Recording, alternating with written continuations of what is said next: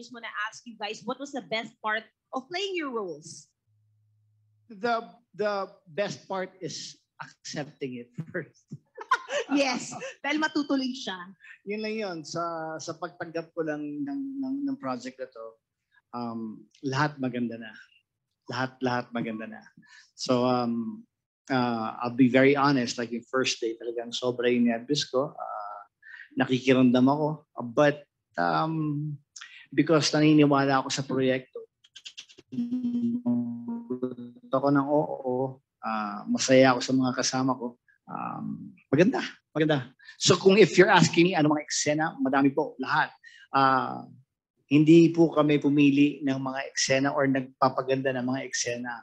Uh, ang ginawa talaga namin dito, what we're trying to do really is when you start watching it, wala umpisa hanggang sa dulo, kasama silang lahat. Wow. Sana!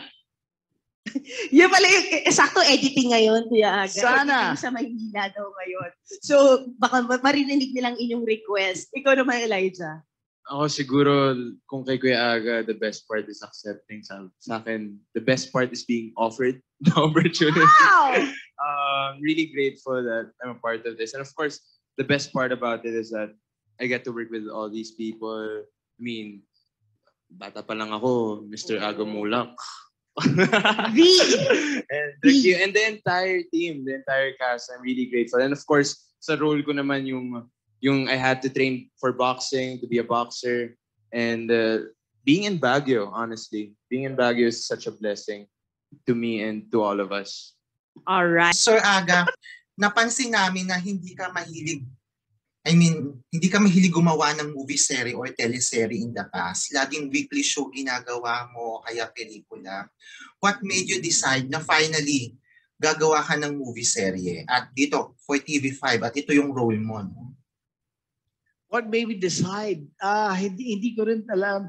Um, meron akong kwento kasi diyan when when when they offered this to me. Unang-una, mag-umpisa tayo muna na, na noong madami pa nag-offer sa akin ng serye noon, paparate, all the time, ang sinasabi ko lang sa sarili ko, uh, gagawa lang ako ng serye pag sa Baguio ang location, uh, para malamig, kasi alam ko mahirap ang trabaho ng serye.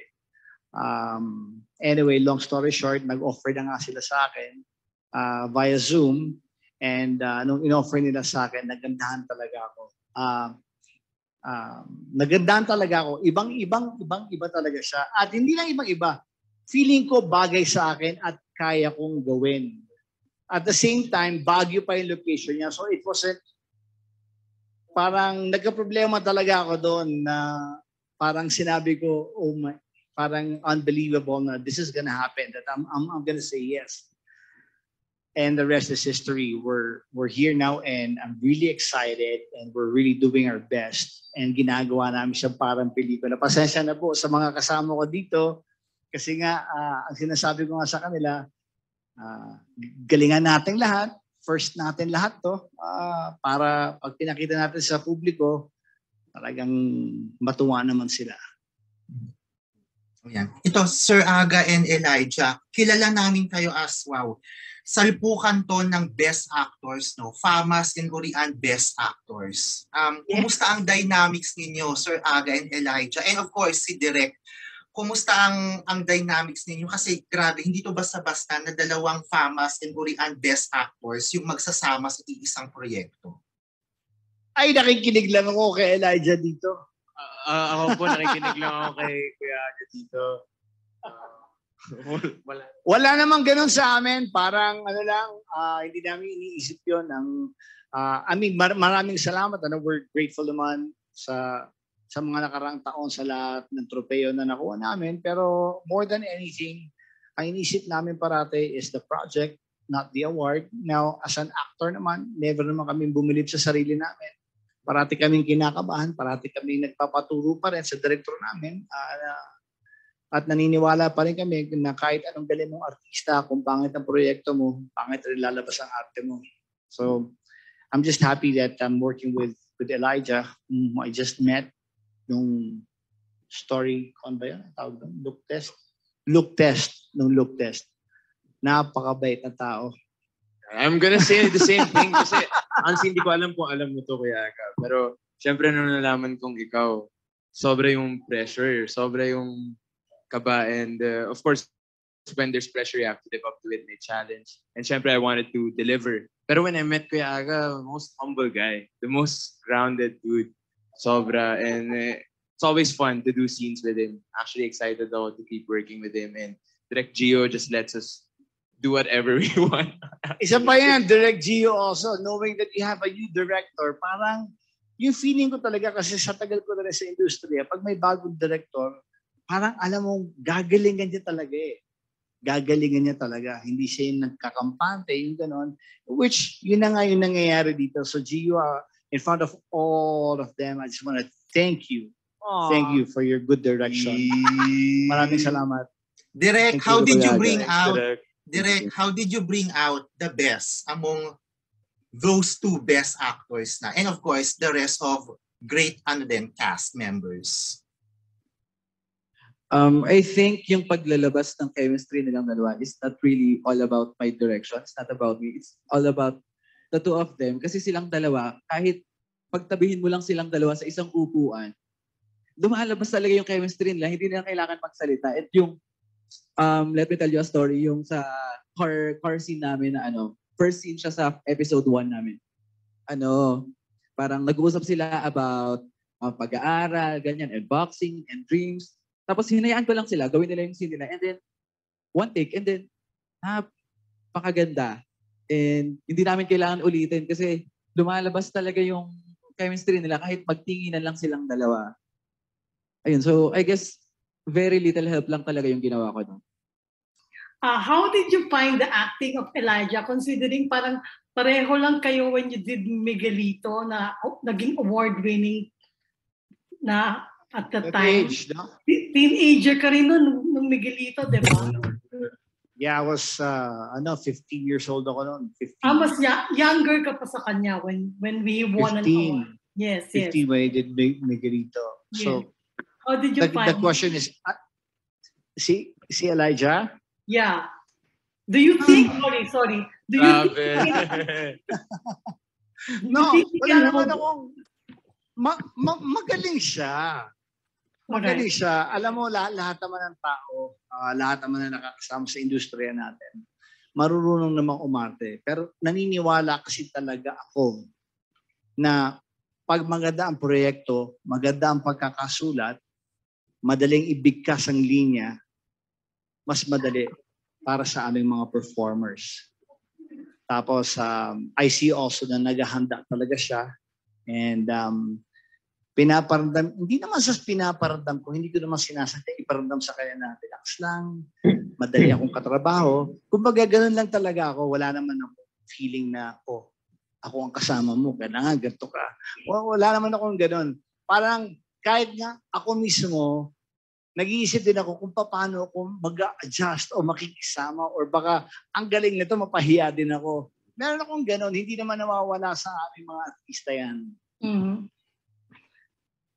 Do you think he can hold a candle to you or to, to your acting or to other best actors in the industry? Or Elijah is only, tw- Elijah Leia is only 21 years old. Yes. Ang haba pa niyan.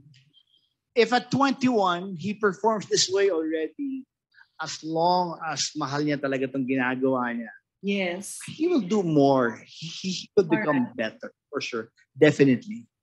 Definitely. Sana lang mahalin niya talaga. Yes. Mahal ko, Kuya. Pareho ng pagmamahal niya sa career niya. Pero ikaw noon, 15 ka lang noon, di ba? Or ya- even younger. yes, yes, yes. Yes. Anyway, can I ask Elijah also? Congratulations for co-starring Thank you with, so much. with, with Aga. Tapos na ba kayo sa serye? Tapos na or you and you or you still in Baguio or continuing pa rin ang ano niyo, shooting niyo? Thank you po. Uh, we're still here in Baguio. We're halfway through uh, our Oh, second cycle. through. We have a couple more cycles to go. So, konti na nga lang po locals na kami dito sa Baguio. eh. Alright. Mahaba pa, Lea. Mahaba pa. Ah, all right. Ang tagal mo pa dyan. But, but Baguio Aga is a very, ano, very memorable to you? We were there 21 years ago, right? Yes, yes. This is where we got married. This is where I got married. All right. Wait, si- uh, continuing to ano to Elijah. Elijah, I will ask the same question to you. The, the question I asked Aga. How do you find working with with Aga? Honestly, like I said nga po kanina, Ay, sorry. sobrang pressure. Go. Mm. No, no, no, it's okay. Um, sobrang uh, pressure nga po. But Mhm. uh, as soon as I met Kuya Aga, uh, parang parang smooth sailing na from there. I mean, of course, I'm the same as Kuya Aga. I never think I'm good. I never think I'm I never think I'm ready, honestly. Inaatake pa rin po ng nervousness most of the time. But Mhm. yeah, dahil nga love na love ko yung ginagawa ko and uh, and uh, I, I, True. I really prepare so hard every night. Sometimes nga, sabihin ko na kay Direct Gio, feeling ko nag-over-prepare ako for this one and please help me. I mean, nagpapatulong ako and I ask advice from Kuya Aga, of course. Uh, and, and ang generous, super generous po niya sa wisdom niya. That's why I think it's really a blessing that I, I was able to meet him and was able to work with him. I'm one of like the lucky ones talaga and I, I'm sure I'll be using that wisdom until whenever, wherever. Didn't you have, I mean, did, tinervous ka ba when you, had, when you were told that you would be working with Aga, and Aga Mulak? Uh, You were not even Mm. born yet when he became famous. I mean, when he became best actor. I mean, he was still in his prime, tita, nung, ano, nung pinanganak ako. I mean, of course, Agam Mulak is Agam Mulak. Very much so, yes. Very yes. much. Um, there was pressure, a little bit of nervousness, but uh, I like that challenge po kasi kapag may pressure, mas challenge akong mas pag-igihin pa, mas magtrabaho pa, mas mag-prepare pa. Para when I meet him, when I- I'm gonna work with him na ready na ako. And kahit anong iba to ni Kuya Aga, kasi Kuya Aga has a lot of surprises. Then while doing scenes, yung biglang, oh, he's doing this. Kaya I have to be ready. I have to be ready all the time. Are you still in school? Nasa UP ka pa rin? Opo, nasa UP Manila pa rin po Yes. ako. But um, uh, I'm taking my time with my studies because Yes. of course, opportunities like this don't come too often. Kaya Alright. uh, th- that can always wait. And of course, I want to finish that one of these days. But right now, my focus is really here with Suntok Sabuan. What's your course? I'm taking up Philippine Arts po in uh, BA Philippine Arts in UP Manila. Ah, all right. Good luck, good luck.